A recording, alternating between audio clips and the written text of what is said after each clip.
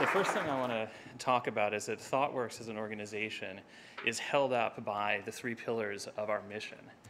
And those missions are to, those pillars are run a sustainable business, which means not in the eco sense, but in the sense that we have to earn money and keep the organization alive and, and going. That's different than maximizing profit.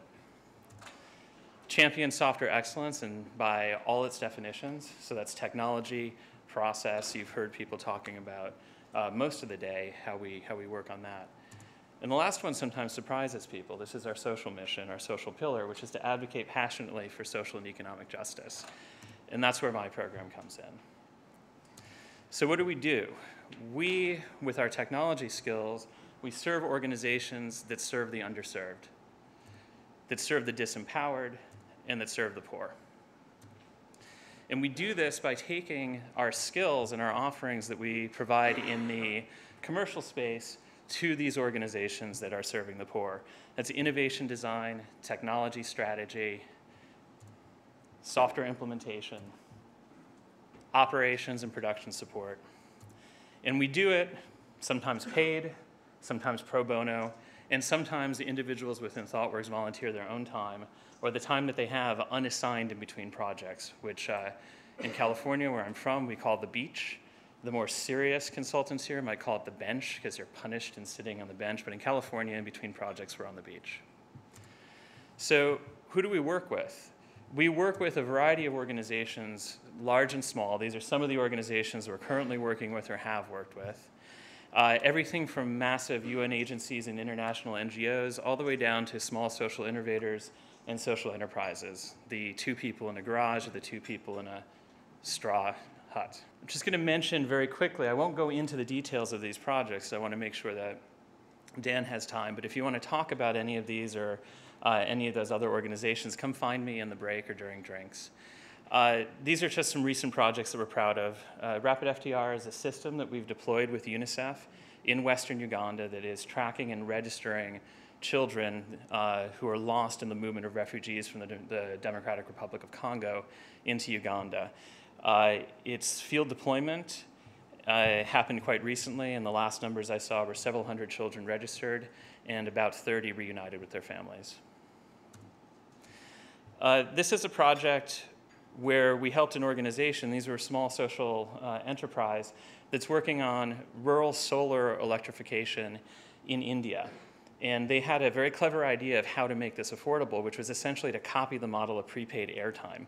So instead of buying a $200 solar panel up front, you would put a down payment, get the panel, and then you'd buy your power as you go. Want a couple hours of power? Costs you a few cents. And the way it works is that you go to an agent, give them the money, they text you a code that you type into that regulator on the side, which allows the power to flow. And eventually that adds up, and you've actually bought the system. So we built the back-end systems, the billing system for that. They did the hardware.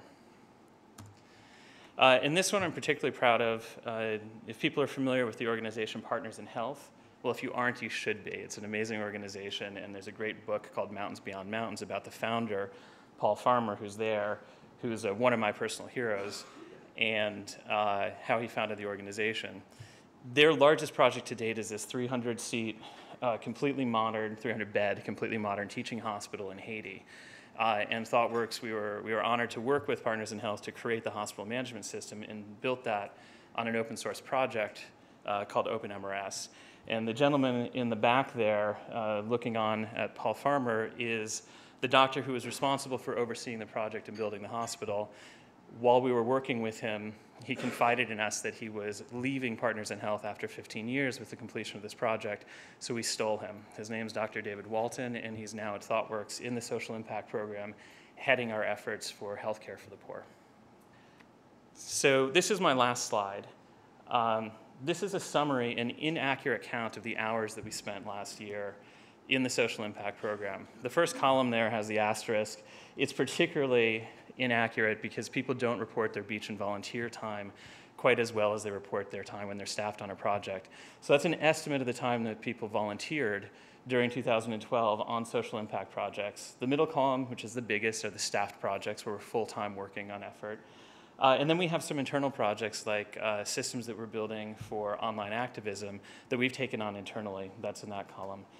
Uh, in the bottom corner, you'll see that that's added up to over 230,000 hours that we spent in, in 2012. Did a quick calculation based on uh, stingy vacation in the States, where we only get two weeks. If you take those hours and assume people work 50 uh, weeks a year, that's the equivalent of 115 full-time people working in social impact for all of 2012.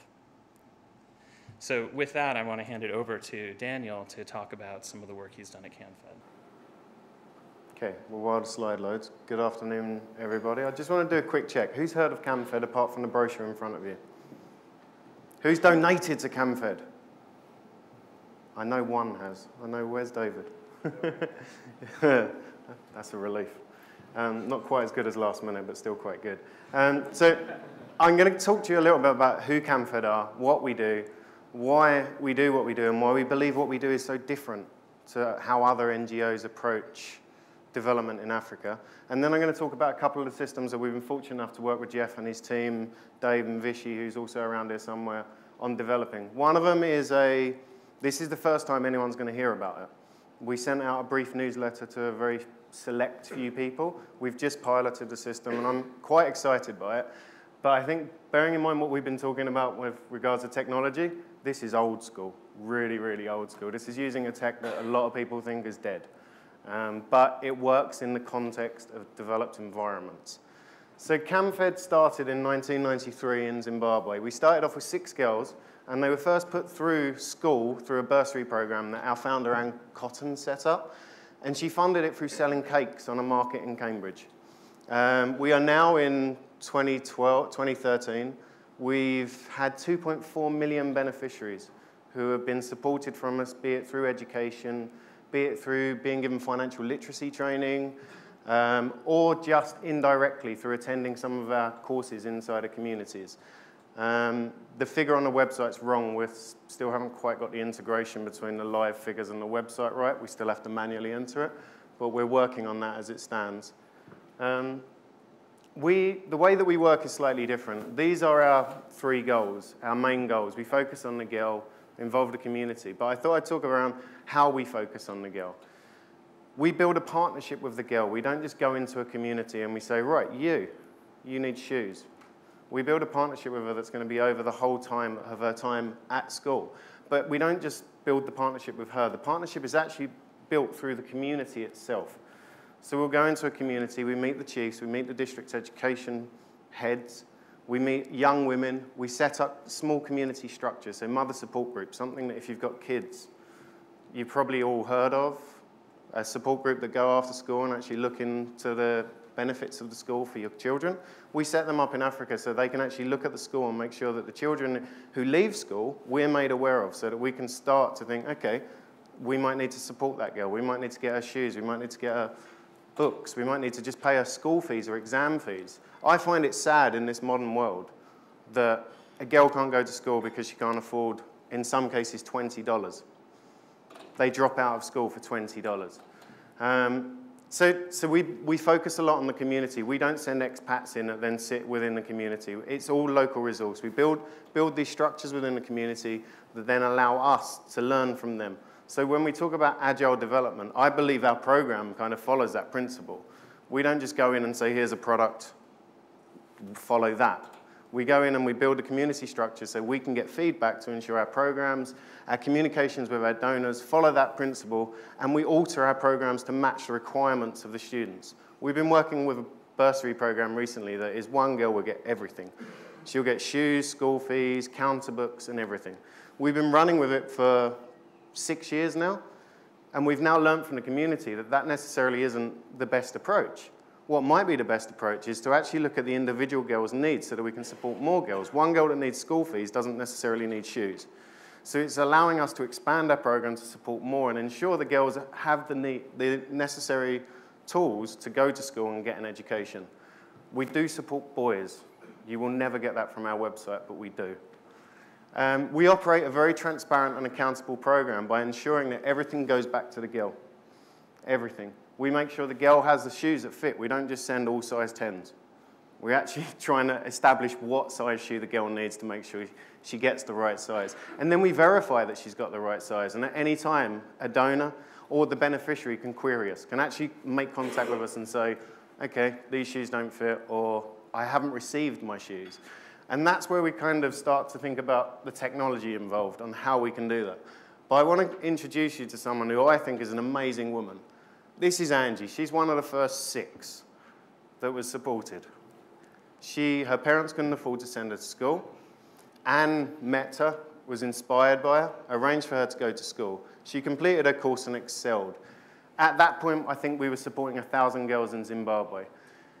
After that, she helped us build the first training course around financial literacy. We pulled in some experts from Cambridge, but she helped us with it, and we trained her on how to set up a business. We gave her a $50 grant, which she then used to, to gain independence. Suddenly, she went back into her community, and she set up her own business using this money. After a few years of running that business, she'd, she'd actually become a bit of a thought leader or a leader within her community. People went to her to ask her questions. I've got children that need help. What can I do? I've got a business I want to set up. What can I do? She then started supporting other people, understanding the concept of being philanthropic within your community. Not just, I've earned $100 this month, I'm going to keep it all to myself and my family, understanding that apportioning that to support other girls through education is of benefit to the community. Now, the reason I picked on Angie, we've got thousands of others I could have picked on. Angie now heads up all our operations in Zimbabwe and Malawi. So, indirectly, Angie, I think in the last 10 years, has helped 650,000 girls access education. One girl from a really badly, I get emotional about her, sorry. From such poverty is now changing the world. Now, she can't do that with pen and paper. She needs technology. And this is where the importance of the technology comes in. It's all very well us setting up these structures, but how do we communicate with them? How do we find out the information in a, in a good, time-effective way? And that's obviously mobile phones, pick up the phone, make a call, send a text message. That's a simple form of communication. As a charity, we have, uh, uh, is this going out public? We have annoying donors who are very restrictive over funds. You can spend it on a thousand girls in that district at that school on this. It's, it's brilliant. Those girls benefit. But for us, our dream pot of money is that unrestricted one. We trust you. We know what you're doing is right. Go out there and do it. Um, but we have more of these restrictive ones than what we have unrestricted. So anyone with a lot of money, send it, please. Um, and so our reporting to our donors is where technology comes in. And I'll move on to the mobile monitoring platform in a little while. But that's in essence what they want to see. They want to understand from the second a girl receives the entitlement, and we say within our financial system we've paid it against their grant, they want to see the, the triangulation effect, the girl verifying she has received that entitlement. They also want to see the change effect. That girl went to school in year one. Did she drop out in year two once their funding ended? That's how we get repeat funders, showing that actually, even though you stopped funding her for year two, we found someone else to fund her, and then you come back in at year three and four because that's amazing. EOI is something that we call evidence of investment. Our way of gaining more funders is through having 74 key indicators. I was going to do something funky with a graph, but I'm embarrassed by trying to do it now. It would have been really tacky. Um, we have 74 key indicators that are our evidence of investment that show our numbers. Show number of partner schools. So we've got 4,000 partner schools, 2.4 million that have benefited, there are too many of them for me to name. I would have brought them all up on screen, but you would have just been, what does that mean? And I'd have had to explain them all. I don't even know. I'm the tech guy. Um, we use technology for feeding back to beneficiaries and communities, but we're also using it in a mechanism that allows them to communicate with us. And that this communication from the beneficiary to us and the community to us is the kind of new tech that we've been working on recently. Previously, I'm, I'm embarrassed to say they still send us fax messages from the community. They still write us letters, which are, are amazing. We have literally rooms full of letters from teachers saying, I've got these 20 students that need these. Our marketing team, if we actually had a good one, would throw them all up on the website because I think they're so powerful to see a handwritten letter from a teacher or from a student saying, Thank you. You've made a difference to my life and to my community. But we all know how important technology is, but what are the challenges faced? How do you pick the right technology? I've seen a lot of talk of Android and iOS. Wow, I'm so envious. I would love to be able to give every, all 2 million of our beneficiaries a mobile phone that needs charging once every 24 hours. Yeah, it doesn't quite work in Africa. Yeah, eight, eight if you're a user like you. um, so what, we have to overcome many more challenges than just the, the power issue. I sat in Ghana recently in a room of 25 women who have been through our program. I got them to hold up their mobile phones. They all had Nokias. The man that said it was the wrong horse. It's the right horse in Africa at the moment. Why have they got this Nokia mobile phone? Cost them $10. They had $100 to spend that month. If they'd have got a smartphone, they'd have had to have paid to add power, paid the bill for internet costs, Suddenly, that $100 becomes $80 spent just on communication. You can't feed a family for $20. So for us, it's looking at that technology level. What technology do they have in their hands? What can we build that gives them access to information across every platform? Um, so that kind of fills the requirements and the challenges. Funding is my biggest challenge. Having an idea and going to someone who's got restrictive funding ideas and it's an idea and I've not built anything and no one's using it yet and saying, I want to do that. no way. It's kind of, so my biggest challenge at the moment is just trying to get people to see that it's a good idea, it'll work. We have actually got 20 years of experience and 20 years of success behind us. Let me spend some money on building this idea out. Fortunately, we have got one, which is why I can announce something today and not just regurgitate what's in the book. Um, but then one of the biggest things is, who here has been trained on how to use Facebook? How can you build an app to work on an old dumb phone that, you don't, that doesn't need training? That doesn't need someone to be handheld through it? It's our mobile monitoring program. Most of our budget went on training people how to use the system. Not on the development of the system, well, we got that free, but, but and not even on the rollout. The cost of the technology was cheaper than us actually pulling everyone together to learn how to use the technology. So what did we learn from that? Quite a lot, to be honest with you. Stop trying to put an application on a phone and send it out to Africa and just expect someone's going to learn how to monitor on the spot. Try and build something that's intuitive, but also something that they're using at the moment, something that they're comfortable with as a concept. They know how to send a text message. They know how to do their balance updates. Think around that kind of mindset and also focus on the lowest common denominator. And that's where we are now. We are, I'd love to put a smartphone everywhere, and I will one day. Sorry, go on. Just want to emphasize a quick point there that uh, there's been a lot of talk about great new innovations, and I know that's what gets us excited as technologists. But the fundamental problem in the places where we work is not that there isn't technology that works. We have tons of technology that works. It's about getting that technology to everybody the big innovation is actually about access. It's not about what we're going to have in 10 years. It's about what we have today and actually using that everywhere. It's also more of a sustainable model. If you, if you actually think from an environmental point of view, how many of you change your mobile phone once a year?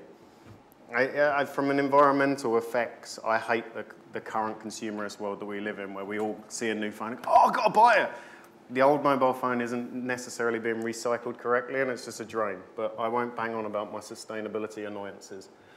Um, so now I'm going to talk a little bit about technology. So we, and you can see it in the brochure, we used to have a very hideous paper-based system that we use for our monitoring and evaluation.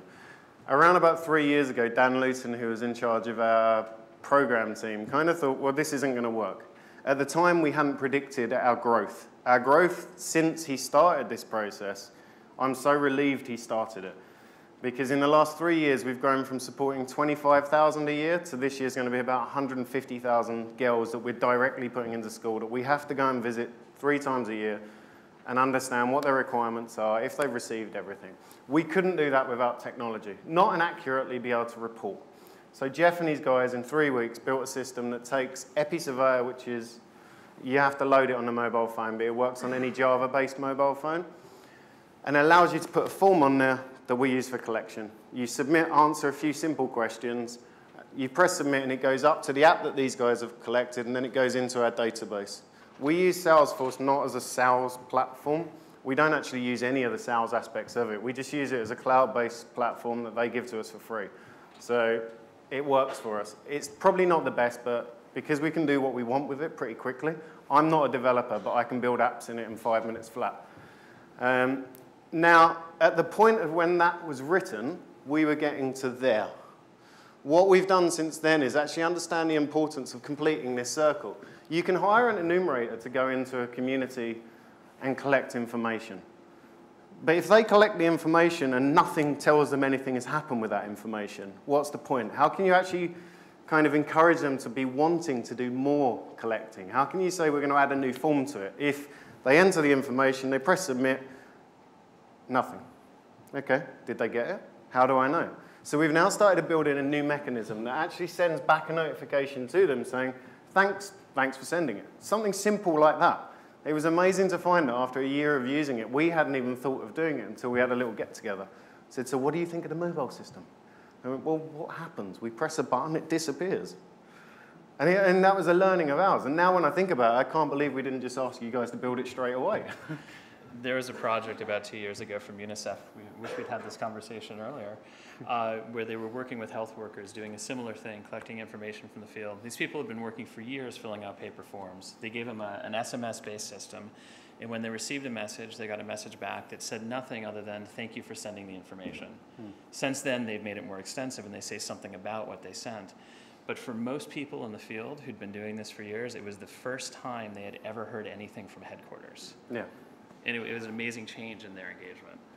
Well, suddenly we found since we've actually, I mean, we're still only at the thank you stage. I'd love to send more back, but there's a limitation on what you can send back. But it's amazing to see that we went from a period where we just flatlined on our data collection to since we've started sending back messages, it's increasing.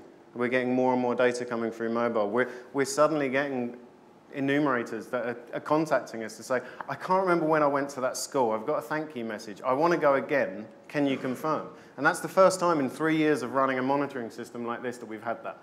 Uh, the technology in the background is pretty simple. Really rubbish mobile phone, lots of clever cloud stuff, and that's it. It all goes over the internet. That's my downside with it, because there's quite often they don't have internet access. If you've ever been to Africa and you've been to a rural community, Good luck with any 2G, 3G, 4G device. You'll get a GSM signal, and that's only if you're very lucky. Um, it is getting better, though, I will be on, before you jump in on that one. um, so that's what you can read about more on there. Now I want to talk to you about an idea I had about nine months ago that was built around the idea of having this group of alumni that we have. We have all these girls that go through our program, and they are a powerful network of thought leaders within their communities. They understand the lay of the land, un they understand the context of the issues, and they want to learn from one another. They want to understand within this CAMFED alumni of, okay, I'm in rural Ghana. What's the issue for a girl in rural Zambia? How do they connect? How do, they, they have a very dumb basic mobile phone and no mechanism for connecting no mechanism for understanding. I asked some girls in Ghana recently, how do you communicate with a girl in a different district? Well, she's got a smartphone, so she uses WhatsApp to send a message to her, who then Facebooks her, who then SMSs her, and then she walks next door and asks a question. I, you can imagine how long that message, and it's Chinese whispers. God, I have no idea if the same message got there that was originally sent out. So one of my big drivers was about giving our CamFed alumni, which stand at 19,000 this year, will be 45,000 next year, and it's a growing number of girls, giving them a central place to come together, to collaborate, to share experiences, and learn from one another, more importantly. There's no point being an alumni if you can't learn from the experiences of others and actually see, see success stories.